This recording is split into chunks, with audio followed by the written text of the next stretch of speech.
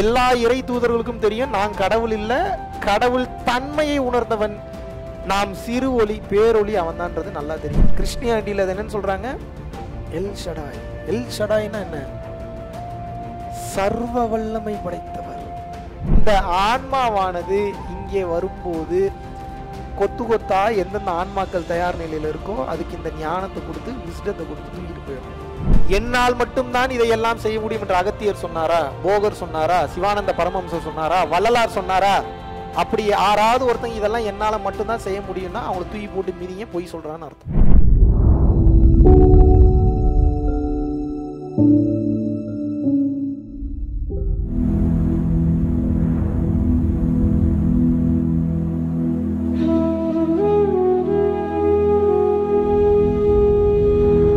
ஒரு மாதம் பயிற்சி செய்கிறதுல சில விஷயங்களை நான் ஷேர் பண்ணிக்க விரும்புகிறேன் நான் ரொம்ப ரொம்ப டஃப்பாக அதாவது எனக்கு டக்குன்னு மனசு இலகாது. முன்னெல்லாம் நான் அப்படி தான் பர்சனலாக நான் அப்படி தான் ஆனால் இப்போ எனக்குள்ளே அந்த மாற்றத்தை வந்து பார்க்கும்போது என்னடா ஆச்சு எனக்கு அப்படின்னு எனக்கே தோணுது. பட் எனக்கே புரியுது இது நல்ல மாற்றம் தான். குருஜி எல்லாத்தையும் வீடியோவில் ஷேர் பண்ணியிருக்காரு நான் அவரோட ஒரு வீடியோவும் விட்டதில்லை. எல்லாம் பார்த்துருக்கேன். எந்தெந்த வீடியோவில் என்னென்ன இருக்குன்ற வரைக்கும் தெரியும். திரும்ப திரும்ப திரும்ப இந்த பாஸ்ட் டூ இயர்ஸாக வந்து நான் செஞ்ச உருப்படியான வேலைன்னு பார்த்தா இந்த வீடியோஸை பார்த்து மாறினது சேஞ்ச் ஆனது தான். அது திரும்ப திரும்ப பார்க்க பார்க்க என்னை ஒட்டோவாக சப்கான்ஷியஸில் சர்வ் ஆகி ஒட்டோவாக என்னுடைய உள்தன்மை அப்படியே மாறிடுச்சு. ஸோ இப்போ வந்து ரொம்ப ஹாப்பியாக இருக்குது ரொம்ப சந்தோஷமாக இருக்குது எது வந்தாலும் பார்த்துக்கலாம் யார் நம்மளா பார்த்துக்க போகிறோம் இல்லையே. அவன் மேலே நின்று பார்த்துக்க போகிறான் அவனுக்கு தெரியாத நமக்கு என்ன கொடுக்கணுன்ற மாதிரி அந்த மாதிரி ஃபீல் ஆகுது எல்லா விஷயத்துலையும். ஸோ இந்த இந்த விஷயத்தை நான் ரொம்ப ஷேர் பண்ணணும்னு நினச்சேன். குருவே சரணம். அனைவருக்கும் வணக்கம். ஆல்ரெடி நம்ம அனௌன்ஸ் பண்ண மாதிரி வருகின்ற செப்டம்பர் இருபத்தி எட்டாம் தேதி முதல் அக்டோபர் மூன்றாம் தேதி வரை கிட்டத்தட்ட ஐந்திலிருந்து ஆறு நாட்கள் அந்தமான் நிக்கோபார் ஐலாண்ட்ஸுக்கு முழுக்க முழுக்க கடல் சக்தியை வைத்து நமது குண்டலினி ஆற்றலை மேலெழுப்பக்கூடிய ஒரு அற்புதமான ஒரு பயணத்தை வந்து தொடங்க இருக்கிறோம். ஸோ விருப்பமுள்ள நபர்கள் கீழே உள்ள காண்டாக்ட் நம்பருக்கு காண்டாக்ட் பண்ணி உங்களது பெயரை இந்த மகா யாத்ராவில் முன்பதிவு செய்து கொள்ளலாம். அது மட்டும் இல்லாமல் வருகின்ற செப்டம்பர் ஒன்பதாம் தேதி ரெண்டாயிரத்தி இருபத்தி மூன்றாவது வருடம் துபாயில் வந்து பார்த்தீங்க அப்படின்னா ஒரு நாள் பரம்பொருள் யோகம் வகுப்பை வந்து கண்டக்ட் பண்ணுறோம் ஸோ துபாய் அபுதாபி ஷார்ஜா மற்றும் அதை சார்ந்த பகுதியில் இருக்கிறவங்க இந்த பரம்பொருள் யோகம் எனக்கூடிய அற்புதமான சக்தி பெற்ற தீட்சையை பெற வேண்டும் என்று நினைப்பவர்கள் உங்களது பெயரை கீழே உள்ள காண்டாக்ட் நம்பர் காண்டாக்ட் பண்ணி முன்பதிவு செய்து கொள்ளலாம். இந்த மொத்த அண்ட சராசரத்தையும் வகுத்த உருவாக்கிய இறைவனுக்கு ஆற்றல் எவ்வளவு இருக்கும்? எவ்வளவு இருக்கும்? எல் ஷடாய்னு சொல்றாங்க. கிறிஸ்டியானிட்டியில் அது என்னன்னு சொல்றாங்க? எல் ஷடாய் எல் ஷடாய்னா என்ன? சர்வ வல்லமை படைத்தவர். சர்வ சர்வ வல்லமைனா என்ன? நினைத்து கூட பார்க்க முடியாத வலிமை படைத்தவர் என்று அர்த்தம். இல்லைங்க அவர் கர்த்தருக்கு மட்டும்தாங்க. என்ன கர்த்தருக்கு மட்டும்தான்? அது என்னைக்கா கர்த்தர் சொல்லியிருக்கிறாரா? என்னைக்காவது கர்த்தர் சொல்லியிருக்காரு என்னால் மட்டும்தான் இதை செய்ய முடியும் சொன்னாரா? கர்த்தர் சொன்னாரா? என்னால் மட்டும்தான் இதை செய்ய முடியும் என்று நபிகள் நாயகம் சொன்னாரா? என்னால் மட்டும்தான் இதையெல்லாம் செய்ய முடியும் என்று அகத்தியர் சொன்னாரா? போகர் சொன்னாரா? சிவானந்த பரமஹம்சர் சொன்னாரா? வள்ளலார் சொன்னாரா? அப்படி யாராவது ஒருத்தங்க இதெல்லாம் என்னால மட்டும்தான் செய்ய முடியும்னா அவங்களை தூக்கி போட்டு மிதிங்க பொய் சொல்றான்னு அர்த்தம். உண்மையை உணர்ந்த ஞானிகள் உண்மையை உணர்ந்த யோகிகளுக்கு மிகவும் நன்றாக தெரியும். இங்க இறைவனை தவிர வேற பொருளே கிடையாது. அப்ப இருக்கிறது பூரா இறை பொருள் தான். அப்ப இது உணர்ந்துச்சுன்னா இதெல்லாம் ஏன் உணர முடியாது? தெரியுமா தெரியாதா? இந்த குழந்தை பையனுக்கு தெரியுது கர்த்தருக்கு தெரியாதா? கர்த்தர் என்ன சொல்கின்றார்? பரலோகத்தில் இருக்கும் எங்கள் பரம பிதாவே. அப்படிதானே சொல்றாரு? அந்த பரலோகத்தில் இருக்கும் பரமபிதாவே நான் தான் சொன்னாரா கர்த்தரு? அப்ப என்ன அர்த்தம்? அப்ப அதுல இதன் இதுதாங்க ஞானம். அதை கொஞ்சம் ஆராய்ச்சி பண்ணோம்னா புரிஞ்சிடும். அப்ப என்ன சொல்ல வராரு? உனது விசுவாசம் உன்னை ரட்சித்தது. உனது விசுவாசம் உன்னை ரட்சித்ததுன்னா அதுக்கு என்ன அர்த்தம்? பைபிள் என்ன சொல்ல வருது? உனது நம்பிக்கை உனக்கு அந்த பொருளை கொடுத்தது. இன்னும் இன்னொரு வார்த்தை சொல்றாரு. ஏனெனில் தேவனே தம்முள்ள தயவுள்ள சித்தத்தின்படி உங்களில் விருப்பத்தையும் செய்கையையும் உண்டாக்குகிறவராயிருக்கிறார். எவ்வளவு பெரிய வார்த்தை பைபிள் வசனம். ஏனெனில் தேவனே தேவனேன்னு கர்த்தரை சொல்றாரா? தேவன் அவர் யாரை சொல்லுவாரு? எல்லா இறை தூதர்களுக்கும் தெரியும் நான் கடவுள் இல்ல கடவுள் தன்மையை உணர்ந்தவன். நாம் சிறு ஒளி பேரொளி அவன்தான்றது நல்லா தெரியும். துவைதமும் கரெக்டு தான் அத்வைதமும் கரெக்ட் தான். இப்போ உங்களுக்கு புரியாது ரெண்டும் கரெக்டு தான்றது ஒரு குறிப்பிட்ட பக்குவம் வரும்போது புரியும். ஏனெனில் தேவனே தம்முள்ள தயவுள்ள சித்தத்தின்படி உங்களில் விருப்பத்தையும் செய்கையையும் உண்டாக்குகிறவரா இருக்கிறார். அப்படின்னா என்ன அர்த்தம்?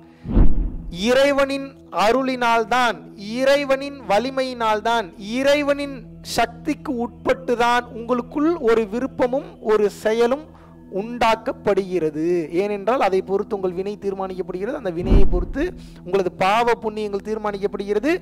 அதை பொறுத்து இறைவனை நோக்கி நீங்கள் செல்லும் பாதை உங்களுக்கு சீரமைக்கப்படுகிறது. அனைத்தும் இறைவன் தான். தசவாயிகள் உள்ள போயிருச்சுன்னா பிராணன் அபானன் வியானன் உதானன் சமானன் நாகன் கூர்மன் கிருகரன் தேவதத்தன் தனஞ்சயன். இருக்கா இல்லையா? அதுபோல இறைவன் ஒருவன் தான் இறைவனை பற்றி புரிந்து கொள்வதற்காக அந்தந்த நாடுகளில் இருக்கிறவங்க அவங்களுடைய அறிவு நிலைக்கு தகுந்தாற் போல அவங்களுக்கு தெளிய வைக்கணுன்றதுக்காக சில கேட்டகரிஸ் பிரித்தாங்க அப்படி வந்தது தான் அந்த ஜாதி மதம் மொழி இனம் வேறுபாடு எல்லாம். இதெல்லாம் நல்ல காரணத்துக்காக உருவாக்கப்பட்டது தான். இதில் அந்த வளர்ந்து வரும்போது உண்மையான ஞானத்தை இழந்துருவாங்க சில பேர். சூழ்ச்சியினால இழந்துருவாங்க.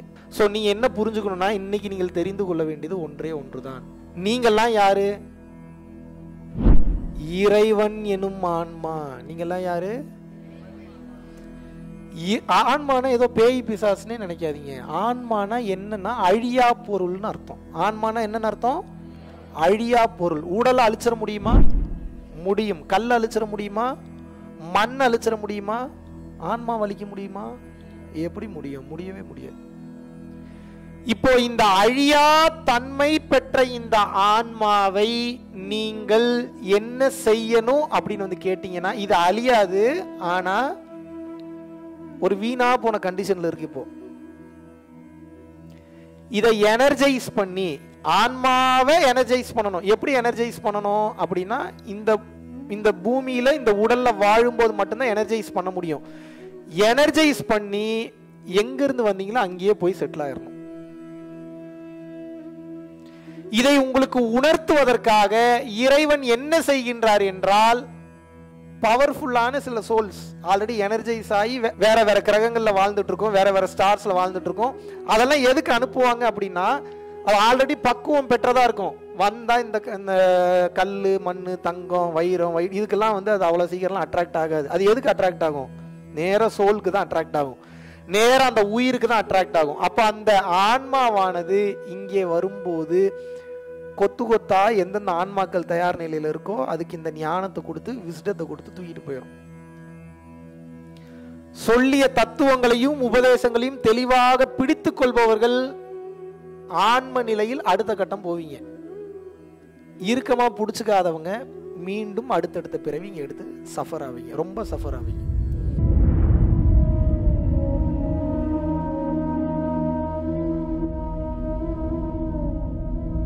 பரம்பொருளின் கருணையினால உங்களுடைய இடைவிடாத அன்னதானத்திற்கு நீங்கள் அனுப்பப்பட்ட பணத்தின் மூலியமாக பல லட்சம் உயிர்களுக்கு இது நாள் வரைக்கும் வந்து சாப்பாடு கொடுத்துருக்கோம்.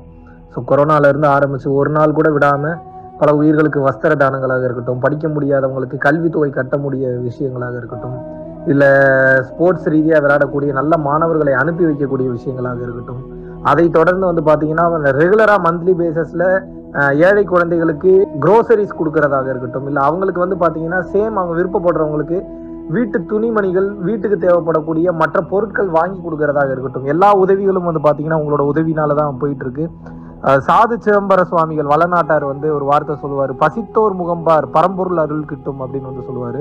வள்ளல் பெருமானும் ஜீவகாருண்யம் உள்ள சம்சாரிகளுக்கு எப்பேற்பட்ட சூழ்நிலையிலும் வந்து பார்த்தீங்கன்னா அவங்களோட லாபம் தடைபடாது தொழில் பிரச்சனைகள் வந்து நிவர்த்தியாகும். அதை தொடர்ந்து வந்து வாழ்க்கையில குடும்ப பிரச்சனைகள் விலகும். அதுபோக குழந்தை சம்பந்தமான பிரச்சனைகள் எதுவாக இருந்தாலும் வந்து இந்த அன்னதானத்திற்காக நீங்கள் செய்யக்கூடிய ஒவ்வொரு ரூபாயும் அது வந்து உங்களுக்கு நிச்சயமாக புண்ணியமாக வந்து சேரும். புண்ணியத்தை கடந்த நிலையில் முக்தி பாதைக்கும் அது நிச்சயமாக உங்களை வழிநடத்தும் அதனால விருப்பப்படுறவங்க நம்மளுடைய பரம்பொருள் அறக்கட்டளினுடைய சேரிட்டி ஆக்டிவிட்டீஸ்க்கு தங்களுடைய விருப்பப்படக்கூடிய நன்கொடையை கீழே உள்ள டெஸ்கிரிப்ஷன்ல இருக்கக்கூடிய அக்கௌண்ட் நம்பருக்கு செலுத்தலாம். இதற்குண்டான அந்த அருளை சித்தர்கள் உங்களுக்கும் உங்கள் குடும்பத்தாருக்கும் வழங்க வேண்டுகிறேன். குருவின் பரிபூர்ண அருளாசிகள் குரு கடாட்சம்